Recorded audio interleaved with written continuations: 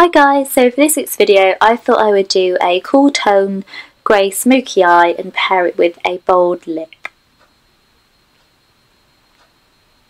So first off I'm taking as usual my MAC Painterly Paint Pot I'm just going to run this as a base um, from the eyelid to the brow bone. Taking the MAC Cool Neutrals palette and the first colour I'm using is called Pick Me Up and I'm just running this over the entire eyelid um, as a base colour.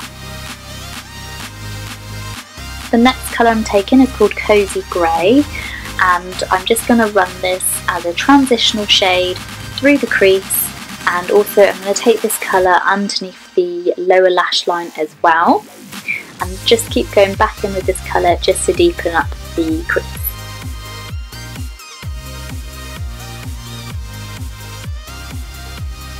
The next colour I'm taking is called Pearled Earth and it's a really nice um, grey silver colour and I'm just going to start using this colour through the crease just over the top of what we've applied and also run it underneath the lower lashes as well.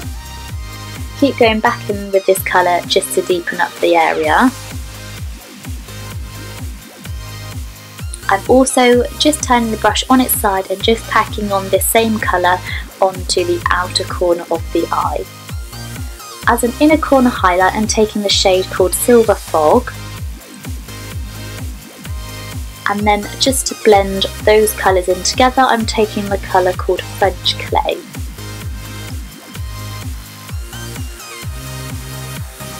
So I thought this lip need warm, needed warming up slightly so I'm taking the colour Brun from the palette and I'm just going to focus this colour only throughout the crease just to warm up the area and just add a little bit more depth.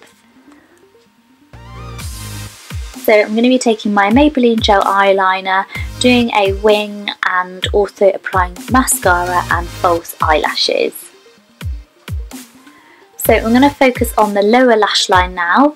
So I'm taking the colour called Pearled Earth again on a pencil brush and I'm just going to be blending this um, out underneath the lower lash line just to really make it smoky.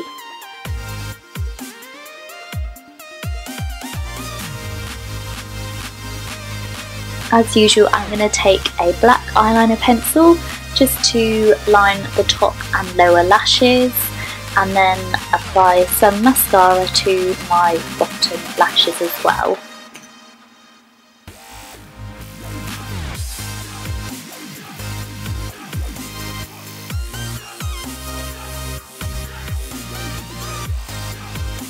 So to finish the look I'm taking that Lime Crime's lip stain in the colour Cashmere really pretty colour. It's something different to what I usually would wear, but I really quite like the look. Let me know what you think and if you'd like to see more future videos using darker colours. So I hope you enjoyed this um, makeup tutorial. Leave any comments below. Don't forget to like and subscribe to my channel and I will see you in my next video. Thanks for watching. Bye!